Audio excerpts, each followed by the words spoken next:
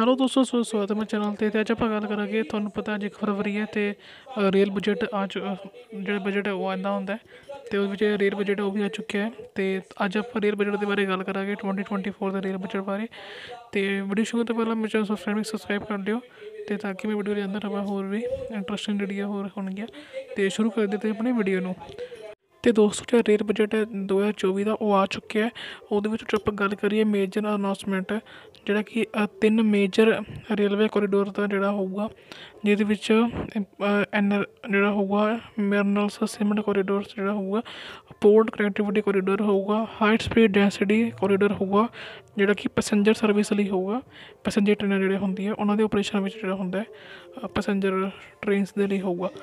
Under PM ਗਤੀ ਸ਼ਕਤੀ ਅਤੇ ਦੋਸਤੋ, ਇਸ ਤੋਂ ਇਲਾਵਾ ਜਿਹੜਾ ਕਿ ਹੋਰ ਹੈਗਾ, ਇਹ ਕੋਰੀਡੋਰ ਤੋਂ ਇਲਾਵਾ ਰੇਲਵੇ ਨੇ 40000 normal rail bogies will be converted to Vande Bharat standards ਅਤੇ ਇਹਦਾ ਆਪਾਂ ਸਮਝੀ ਸਮਝੀਦਾ ਦੇਖੋ, ਦੋਸਤੋ, ਇਹਦੇ ਵਿੱਚ ਨੋਰਮਲ ਰੇਲ ਬੋਗੀਸ ਨੂੰ ਕਨਵਰਟ ਕਰਨ ਦੀ ਗੱਲ ਕੀਤੀ ਗਈ ਹੈ ਵੰਦੇ ਭਾਰਤ ਨਾਲ।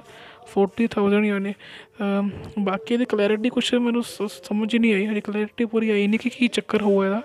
ਮਤਲਬ ਕੀ ਇਹ ਐਕਸਪ੍ਰੈਸ ਟ੍ਰੇਨ ਜਿਹੜੀ ਸੁਪਰ ਫਾਸਟ ਇਹਨਾਂ ਨੂੰ ਕਨਵਰਟ ਕਰਨਗੇ ਬੰਦੇ ਭਾਰਤ ਦੇ ਰੇਕ ਰੇਕ ਦੇ ਨਾਲ ਇਹ ਕੁਛ ਹੋਰ ਹੋਊਗਾ ਇਹ ਹਜੇ ਮੈਨੂੰ ਸਮਝ ਹੀ ਨਹੀਂ ਆਈ ਇਹ ਗੱਲ।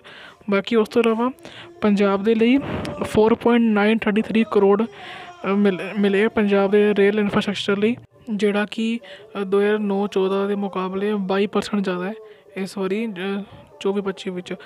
ਜ- ਇਹ ਸਾਰਾ ਰੇਲਵੇ ਇਨਫਰਾਸਟ੍ਰਕਚਰ ਜਿਹੜਾ ਪੰਜਾਬ ਵਿੱਚ ਹੋਊਗਾ, ਉਸ ਤੋਂ ਇਲਾਵਾ ਦੋਸਤੋ ਬਸ ਇੱਕ ਗੱਲ ਮੈਨੂੰ ਹਾਲੇ ਵੀ ਸਮਝ ਹੀ ਨਹੀਂ ਆ ਰਹੀ ਕਿ ਵੰਦੇ ਭਾਰਤ ਨਾਲ ਜਿਹੜਾ ਇਹ rail normal rail railway coaches ਨੂੰ ਕਨਵਰਟ ਕਰਨਗੇ, ਇਸ ਪਰ ਵੰਦੇ ਭਾਰਤ ਟ੍ਰੇਨਸ ਅਤੇ ਇਹ ਦੇਖਦੇ ਅੱਗੇ ਜਾ ਕੇ ਕਿੱਦਾਂ ਇਹਦੀ ਅਪਡੇਟ ਆਉਂਦੀ ਹੈ, ਕੀ ਹੋਊਗਾ ਅੱਗੇ ਜਾ ਕੇ ਬਾਕੀ ਦੋਸਤੋ ਵੀਡੀਓ ਨੂੰ ਆਪਾਂ ਇੱਥੇ ਤੱਕ ਰੱਖਦੇ ਹਾਂ। ਵੀਡੀਓ ਚੰਗੀ ਲੱਗੇ ਤਾਂ ਲਾਈਕ ਕਰਨਾ ਜ਼ਰੂਰ ਕਰਨਾ ਤੇ ਚੈਨਲ ਵੀ ਨਵੇਂ ਤਾਂ ਸਬਸਕ੍ਰਾਈਬ ਕਰ ਦਿਓ ਤਾਂ ਕਿ ਮੈਂ ਵੀਡੀਓ ਜਾਂਦਾ ਰਵਾਂ।